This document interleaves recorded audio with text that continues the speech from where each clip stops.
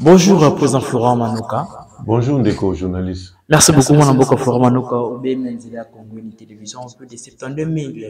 abonnés wana mpe babengi ba follower bazali scotche eponche ya koyoka ba information soki kati ya république démocratique du congo te bato soki wapi tozokende wapi mpe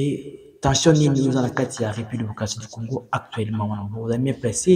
ya koyeba kodibo na bango maye ezoleka na kati ya république démocratique du congo avant nakota na sujet far na nga mokolo yo manduka florent bolibonani santé politique ya république démocratique du congo ezali priorité ya bayi kongomani. Oui, Republique democratique du Congo oyo ezali pays nsomi ya ba congolais eza na ba institutions legalement etablie, legitimes, ezali kosala mosala na yango donc chaque institution ezali ko fonctionner normalement. Lokola chaque institution ezali ko fonctionner normalement donc ba congolais baza na kimia ya kotambola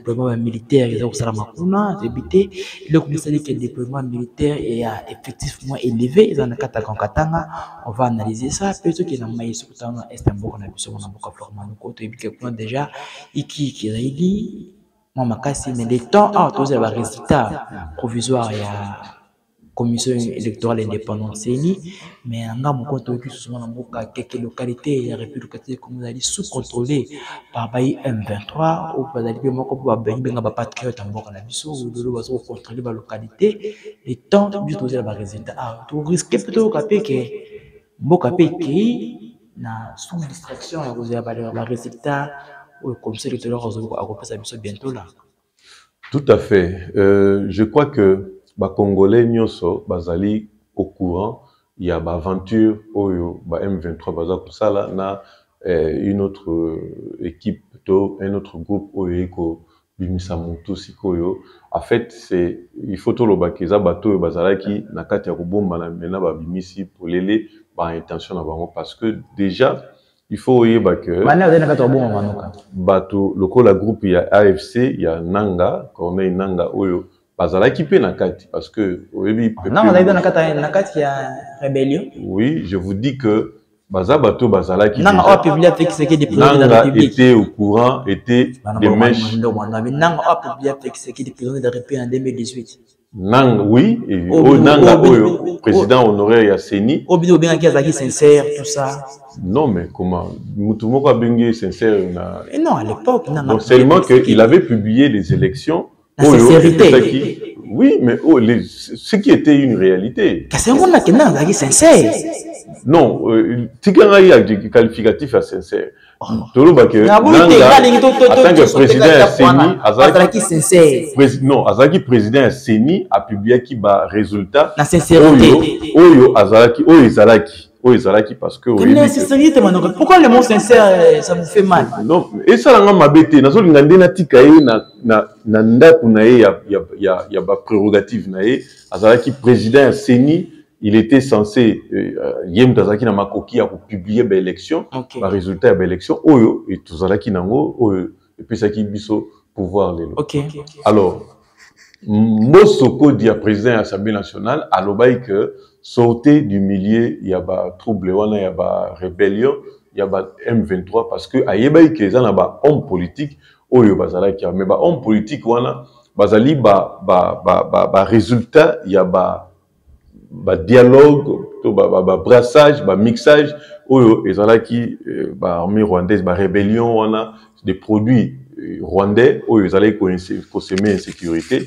mpo bazwa moyen ya kokota par les moyens ya ba dialogue ba brassage na ba mixage awa na kati ya république démocratique du congo donc président mboso ayebaki bango ayebaki que bazali yango wana alansaki appel bobima na milieu wana Parmi bango ba mususu balaki awa oyokaki Mwanga Chouchou oyo pe azalaki juge condamne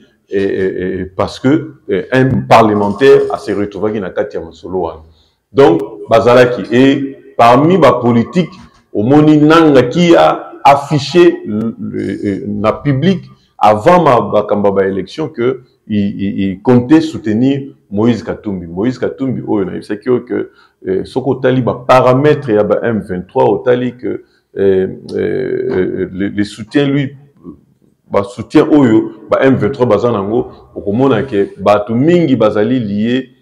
na euh, Moïse Katumbi oyo baza ko apporter ba soutien na M23 na kotanga te euh, oyo bakangaki ata kuna naza juge te ba Salomon Escadela na kotanga te ba euh, journaliste euh, euh, Boujakira euh, tout le monde là bazali de mèche mpo na apporter soutien na bango na bana alors bosoni moise katumbi baza balie na bayi m23 mais au regard ya tableau oyo nazo présente ngai nazoloba que namoni na tableau na yo namoni euh, salomon escadela bakangi ye mpo na nini ono oh aza de meshe na ba autorité euh, ya service ya renseignement rwandais na ba m23 na banani tout ça il semblerait kasalaka mpe batransfert kuna na nani tout ça na timbi bongo salomon escadela eki il n'est pas euh, n'importe qui c'est un conseiller spécial ya moïse katumbi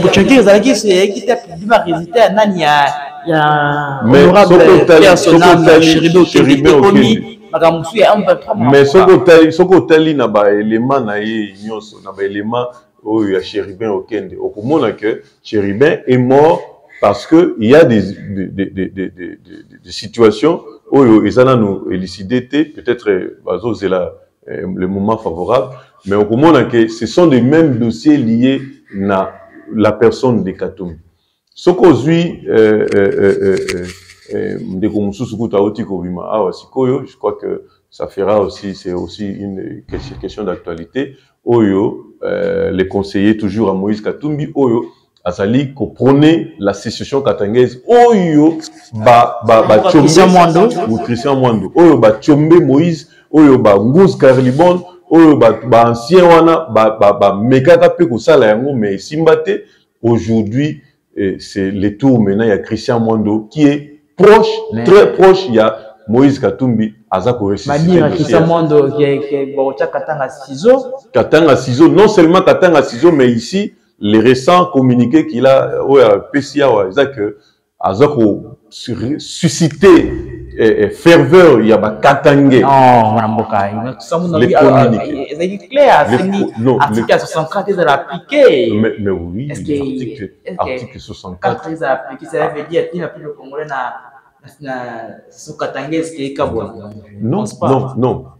le problème c'est que il faut il faut oyeba bango baza bato ya ya ya ya balabala te ba mwando simba baza bato ya mayele okay. bon na mayele na ye il lance les communiqués yoka makambo azoloba abiki il lance l'appel au katangais Tango azo lance Katanga ba kat, euh, appel na Katangais po ba récupérer pouvoir oyo epai ya ba bandits azo utiliser le mot les bandits. Qui est les bandits? Hein? Bon, sikoyo ye mutu fa yebisa biso ba bandits eza banani oyo babotoli ba pouvoir na bango. Banani bazo botola bango pouvoir?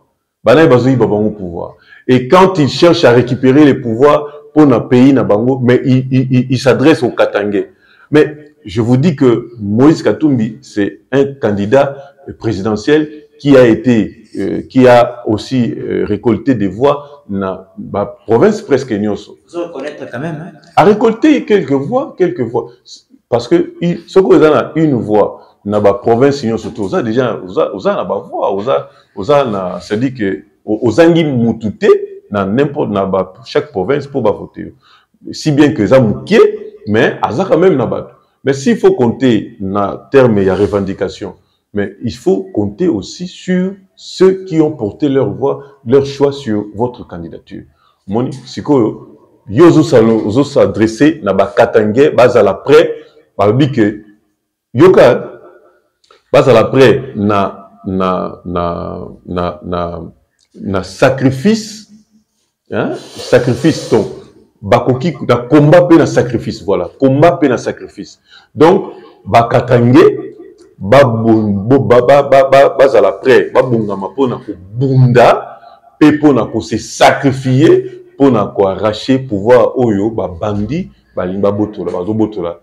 na ba Katangais. Donc omoni que derrière ces communiqués, il cache une réalité. Soko ozui réalité ya ba Gedeon Kyungu wa Kyungu, euh, Kyungu non, Gedeon Kyungu oyo aponaka le Bakata Katanga que lui aussi le monsieur Mwando Simba soutient ozui oyo euh, le général euh, euh, oyo aza na caraval John Numbi ba soutenaka yango et Moïse Katumbi n'est jamais sorti ou passé dans les médias pour a dénoncer ba propos ya ba trop très proche na ye wana oyo bazali ko prôner eh, la sécession alors que lui il a sillonné euh, beaucoup de provinces pour na ko susciter to pe ko, ko, ko, ko convaincre les, un plus grand nombre de Congolais pour appeler ça. Donc, bato wana nyonso nazoloba que ce sont des amis oyo bazali koseme trouble na kati ya République démocratique du Congo surtout na partie est alors le gouvernement responsable bazali kotala miango ndenge nini bazali ko oyoki ke mitumba wana depuis Felix azali na bokonzi sikoyo azali ko lutter pour que kimia ezala et monde entier eyebi makambo nyonso eyebi aujourd'hui aujourd'hui il y a un communiqué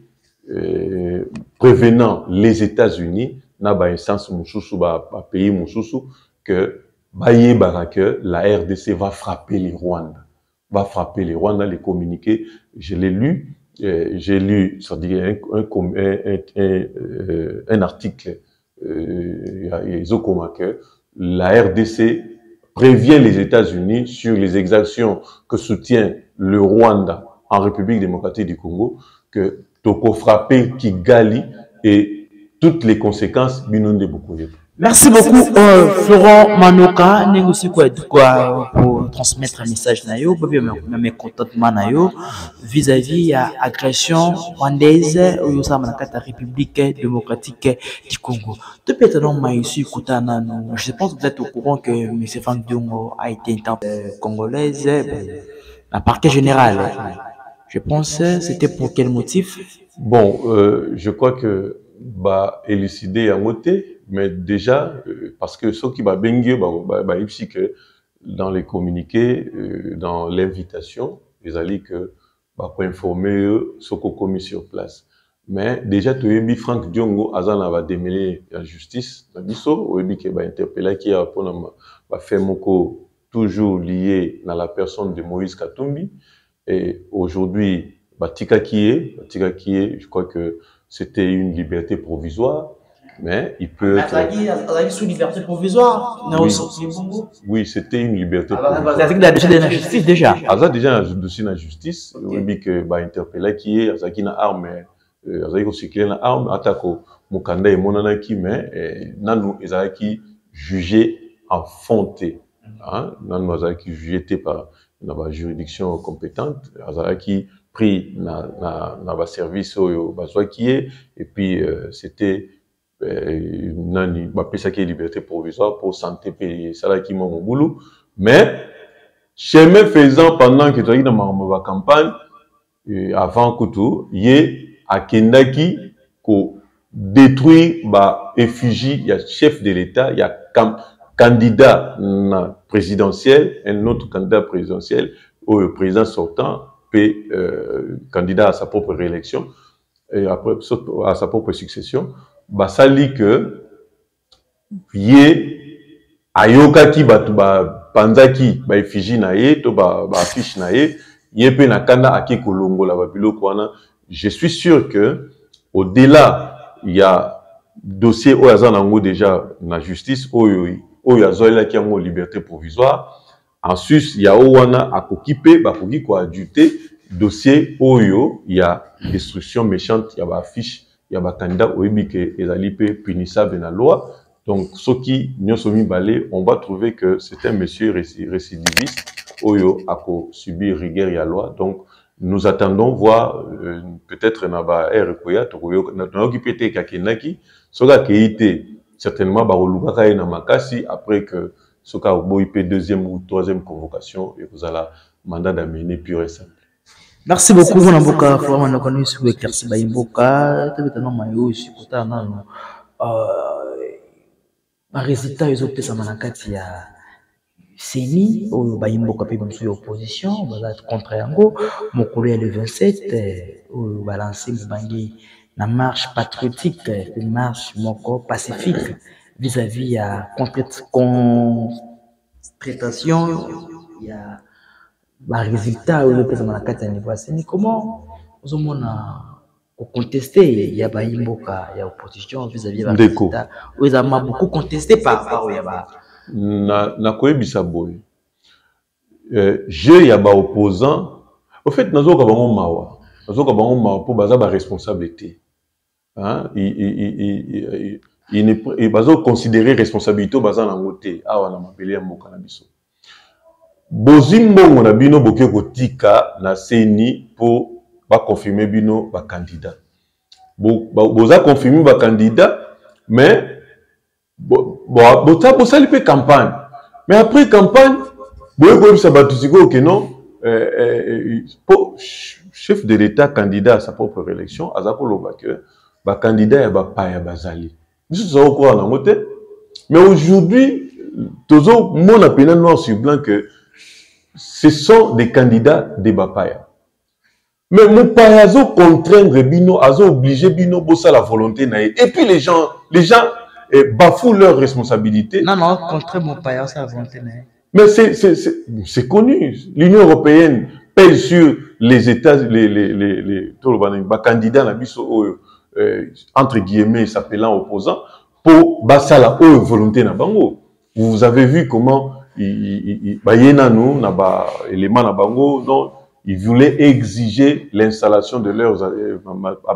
matériel pona euh, kosala observation c'est pas trop si soki ezalaki susu nani alors mais finalement ntango esimbi te bakei baye kotika mission mosusu mais avec des ambitions cachées oyo bazalaki nango te toyebaki te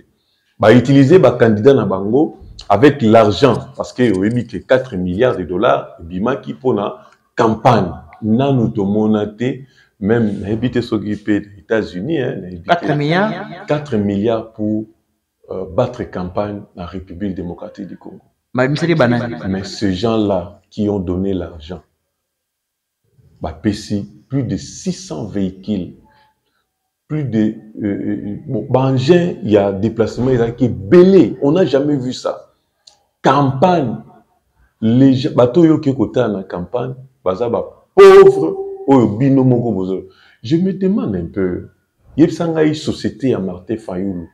oyo engagea bato ebele eza wapi? Societe ya Moïse Katumbi oyo atie mpo na bien ya ba congolais bazwaka salaire mpe na ndenge esengeli baza wapi? MCK eza mpe. Pardon? MCK. Hein? MCK. Nayebi te. Allez vérifier un peu. Kende otala Frank Diongo aza na societe nini oyo engagea bato. Seth Kikuni, à part ba, ba vente ya ba tissus basala nango, yebisa ngai quelle société oyo baza nango bayebi ke ba, ba, ba engage ba, bafutaka mpe ba taxe na bango en bonne et due forme baza te omoni L'autre là, euh, mosusu nayokaki ndeko moko azoloba pasteur euh, Ngalasi alobi pasteur Ngalasi donc nzoka bandimi na yo bayebaki ozalaka na mwa mbongo na yo obomba yango mpo osala société bato bavivaka oyo obombaka mbongo na yo alors que na église esika oteyaka eza mpe na bandimi oyo baza na besoin ba 10 dollars ba 20 dollars banani tout ça mais vous prenez plus de 50 000 dollars boke kotika na seni donc ce sont des gens oyo baza kosorganiser sous l'impulsion ya mundele Le blanc oyo andimaka biso te. Maitre Gims, je le salue en passant, alobi que mundele, le blanc, ne nous aime pas. Alingaka biso soki toza diviser, mundele alingaka biso soki tozo yinana, soki tozo bomana, wana mundele azo sepela. Mais quand nous sommes unis pour reflechir sur notre destinee, les blancs de mecontent alingaka bongo te mundele alingaka te bayindo bino ba congolais bozalaka ensemble bo reflechisaka mpo na avenir ya congo so bokomi ko reflechir mpo na avenir ya congo babia ils vont comprendre ce que nous leur faisons il faut tokabola bango il faut tobomisa bango il faut totya boyokani te kati na bango voilà pourquoi Election nini oyo yo mona na Congo awa ezaka? Soki kaka bosali boye te, il faut boyokana te. Il faut qu'il y ait quelqu'un qui conteste. Même ata election oyo basali oyo publication bureau par bureau oyo bango moko basengaki. Les opposants ont exigé, même pas demandé, exigé la publication des bureaux, il y a élection, il y a résultat, bureau par bureau. C'est ce que Kadima a, accès, a, a, a, a, a accédé na nani na bango, na exigence na bango, azo sala. Maintenant, là, ils ont abandonné pour aller dans la rue. Yebisa Ngaï, aller, ils ont convoqué une marche le 27. Na disposition légale nini. C'est ni alengela ba, ba, ba, ba, ba canaux, il y a ba revendication. Il n'y a pas une marche là-bas. Ba elengela ba komate que soki bo oza oza satisfait na ba résultat, OK, na marche. Elengela mate. mais baza na bajuriste na kati na bango je vu théodore ngoy aza wana euh, théodore ngoy théodore hmm? je vu aussi baza na bamaître herve diakese euh, oyo nandimaka mpe te mais baza kuna na kati bazali koyeba te que il n'y a pas une disposition qui euh, euh, euh autorise que ceux qui vont se retrouver dans la contestation électorale bokeye na marge eza te na loi eza te mais on se retrouver na balabala yebisa ngai ils ont nous avons nous avons eu des rumeurs des rumeurs que basalisi bapolo à effigie ya tata mokonzi ekolo je demande même au service de renseignement d'investir là-dessus nayoki que basalisi bapolo na effigie ya tata mokonzi pour que soki baye ndenge kaka basalaki le 20 le 20 ya, ya 20 mai bazalaki na mposa basala e, e, kata, e, ka, e, e, catastrophe moko batialalete yango bato oyo bazali na obédience ya chef de l'état eh, félix antoine tshisekedi tshilombo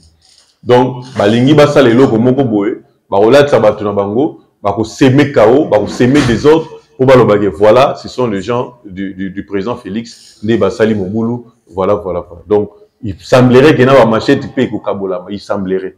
Donc il faut vraiment batala bango lisu na likolo ya lisu pour que toyeba eloko nini ekosalema. Donc bato wana baza na leçon morale ya kopesa bato te. ils ont demandé les élections boboyaki na bino élection bamosusu baboyaki baza te mais je, je comprends pas bakomi koexige résultat et eh, ba, eh, clarification ya processus bosalaki oyo bosengaki yango tosali seni asali à la satisfaction de beaucoup de témoins beaucoup d'observateurs de, de, à part baobservation ba, ba ya soni ya, ya église catholique oyo eza pilote na ambongo oyo azosala soni soni j'ai vu l'évêque ya, ya, ya cardinal ya congo brazzaville na ya bapays mosusu badenonce du fait que eh, mariage ya bénédiction eh, ya mariage ya, ya, ya, ya, ya bahomosexuel badenonce yango balobi en attendant bazwa décision finale bosabstenir na yango mais au congo je n'ai pas vu un communiqué boza kaka toujours ko se balader na ba candidats politiques na ba na ba milieu politique pour na ko soutenir ce qui n'est pas merci merci beaucoup frère Wadoka totondi botondi mingi na nzela ya Info National Télévision ngai nde napesi yo botondi mingi mais nous sommes en train de travailler sur le document eh, tokoya koyebisaka yango na congo il faut bacongolais bayeba mboka na bango na baréalité nyonso bato mingi balingi kobomba makambo oyo etali congo mpe bayebisaka biso makambo oyo esengeli mondele oyo alingi mondele oyo mondele alingi biso toyokaka il faut toyebisaka bato oyo ezali solo tosanganaka mpo na bomoko mpo na avenir ya congo et non tobomanaka toyinanaka mpo na makambo oyo ezangi ntina merci beaucoup